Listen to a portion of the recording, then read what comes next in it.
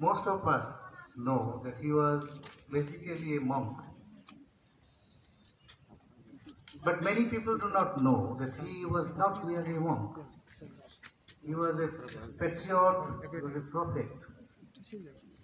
He was the sole agent for the awakening of the nationalism of our country. There was none among the revolutionaries in our country who was not inspired by Swami Vivekananda. What is the greatest contribution of Swami Vivekananda to the people of India? The greatest contribution is he has awakened the spirit of the country, individually and collectively. He said, I shall never cease to work. I shall inspire men everywhere until the world shall know that it is only God. He has changed the definition of religion. By religion, we mean that one should practice religion for the emancipation of himself. But he has, he is the first person in our country to apply religion for the development of the individual life and the collective life and the social life and the national life. That is the greatest contribution of Swami Vivekananda. Practically, he gave a clarion call to the youth of our country.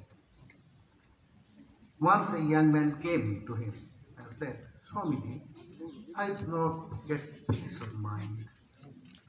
There are so many evil things happening in the society. What could be done? That is the cause of my mental agony. Swamiji said, My brother, if you want peace, you open the doors of your room. That means you open your heart. You come forward to help others. If ever you get peace of mind, that is the only way to get peace of mind.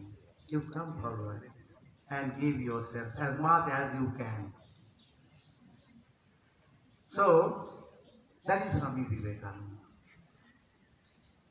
Establishment of statue hanging a portrait of Swami Vivekananda. This is some ways of paying respect to Swamiji. But the best type of Swamiji is to establish him in the heart, to follow his instructions, to change your life. Because he, he, he only Swami Vivekananda who made religion an instrument for the development, for the progress of at large. And he inspired young men in this way. He said once, so long as the million remains in hunger and in privation, I hold everyone a traitor who, having been educated at the expense of the common people, does not pay any heed to them. That was Swami. His definition of religion is very, very nice, very wonderful. He says, each soul is potentially divine. The goal is to manifest His divinity within by controlling nature, internal and external. Do this by work or worship or psychic control or philosophy, by one or more, and be free. This is the whole of religion. Your scripture, your temple, your mosque, your church, and philosophy, everything is secondary details. That is Swami Vivekananda. I am thankful to the authority for extending invitation to me to participate in this very, very beautiful uh, uh, occasion. Swami Vivekananda wanted that students should learn lessons amidst a very sylvan atmosphere. The place is very nice, full of trees, plants, flowers, etc. Many, many thanks to the Mr. Rajaram Singh and his colleagues, the other students, staff, etc.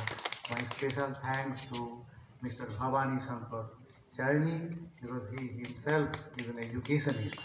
Though he has been appointed as an administrator, but basically he is an academician and he prefers teaching. He told us a short while ago.